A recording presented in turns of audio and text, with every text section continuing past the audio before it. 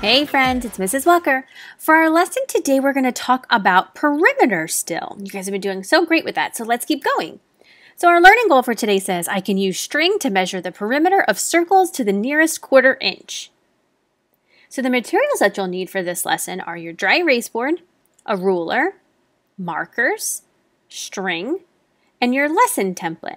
Now, if you don't have string, there's so many different things you can use. You can use ribbon, maybe if you have ribbon. You can use um, like a shoelace. If you have a shoelace in your shoes, you just pop that shoelace out for this part of the lesson. Now, that might be a little tricky. So if you have other options, use those first. Uh, maybe if you, even if you have a necklace that you use, that you wear, you can use any of those things to be able to measure. You just need something that can be bendable and kind of move around. All right, so here we have a circle. Does this circle have a perimeter? What do you think? Yes or no? Well, you might think to yourself, like, it doesn't have straight lines, but the black line is the boundary of the circle, so maybe that's the circle's perimeter. Yes, that is. You're right. All right, can you find the perimeter of the circle in inches using just your ruler?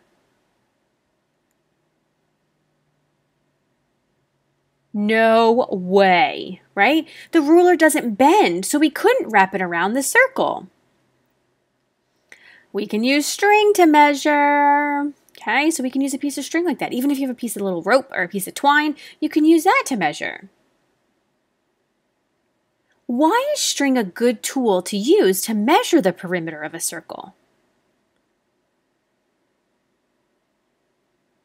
Yeah, it's flexible, right? A ruler is straight and it's not going to have a curve to it. But if we use a piece of string or like a rope or something that is flexible like that, we can have the ability to move it around the boundary of our circle. All right, friends, so let's take your string and wrap it around the perimeter of the circle. Then you're going to cut your string so it's the length of the perimeter. Not sure how to do that? Well, you know what, friends? I'll show you how. Check this out. All right, friends, so let's talk about how we can use our string to measure around the circle. So for this on your lesson template, you guys actually have four circles. On mine, I'm showing you two right now, but we're only going to focus on one of them. So you're because they're all four the same, so you're really only measuring one of them. So the way that you want to start is take your string, line it up. I'm just going to draw like a little line right here so I know where I'm starting with my string. You don't have to, but I just find that helpful.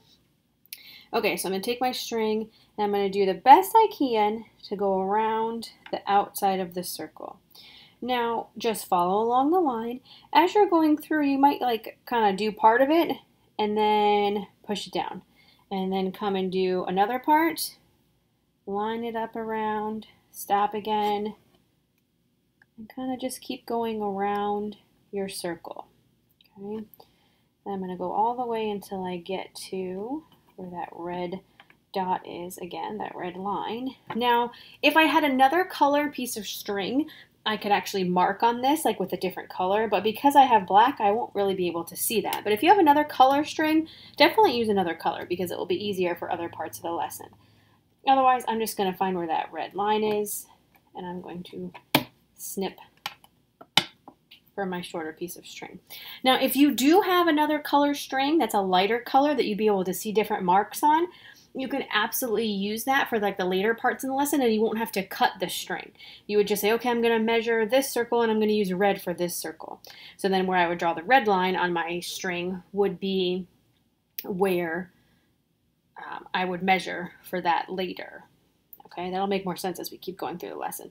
But if I look around, I did a pretty good job of measuring around my circle.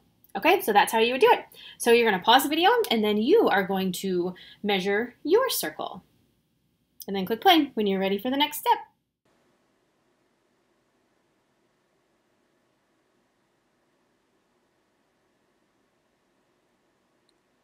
All right, friends, so what does the string around the circle represent?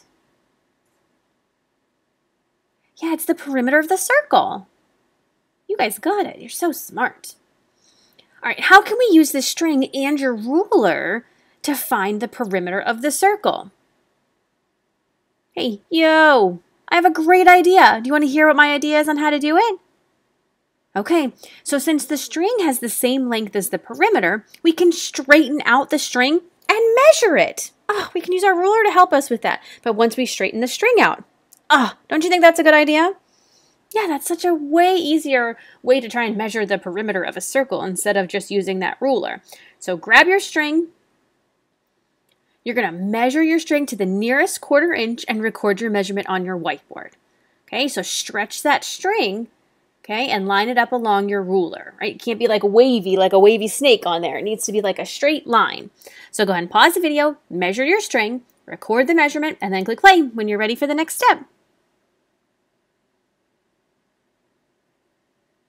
All right, friends, what's the length of the string to the nearest quarter inch? All right, so when I measured, I got 10 and 1 quarter inches. Okay, did you guys get that too?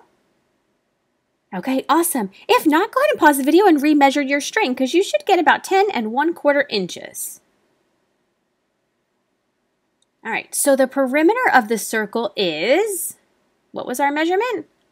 Yeah, 10 and 1 quarter inches. Awesome. All right, friends, so today for your problem set, number one is going to ask you to find 10 circular objects, and you have to measure those. You have to find the perimeter of those. So again, that's doing the same thing that we did with our string today. So maybe some of the ideas could be like a top of a cup, like a roll of tape, a plastic lid, a water bottle, maybe a can of soup. Okay, you could do like a glue stick, a plate, a pot, or a pan. And then remember, uh, you can even use the same string to measure all of the objects. You just have to mark each object with a different color. That's why we have the markers. So if you're going to measure the top of the cup first, you're going to say, maybe I need a blue marker for that one. So measure around, draw a little line on it to know that the blue part is the top of the cup. And then measure that, and then record it on your chart. Then, when you're going to go to maybe do a roll of tape, then you're going to say, I'm going to use a red marker for the roll of tape. So I'm going to measure around mark the end with a red line, then I would measure to the red line, and then so on, a different color for each object. Now, if you have lots of string, then you can cut a new piece each time. That's totally fine. So that's just one strategy or two strategies to be able to use as you're measuring today. Okay, so awesome job with that one. Um, also, one thing to think about is if you're measuring something and it's longer than 12 inches, so it's longer than your ruler, then what you're going to do is measure your string, and once you put a put your mark down on like that, like put your maybe your finger at where 12 inches is on your string. Then you're going to move your finger back over to the zero on your ruler and keep measuring. So maybe let's say I measured 12 inches the first time and then the rest of my string is another 4 inches. So I would have to add 12 plus 4 to find out that it's a total of 16 inches. Okay, so that's how you would measure something that's longer than 12 inches. But again, you don't have to measure something that's longer than that. We don't have to find things that are that big. Okay? All right, friends, so have fun measuring things today in your problem set. All right, so good stuff today. Two thumbs up to you guys for using string to measure the perimeter of circles. So please head back on over to the module to see what you need to complete for your independent practice. As always, if you have any questions, please let me know. I'd be more than happy to help. And I hope you guys have a great rest of your day.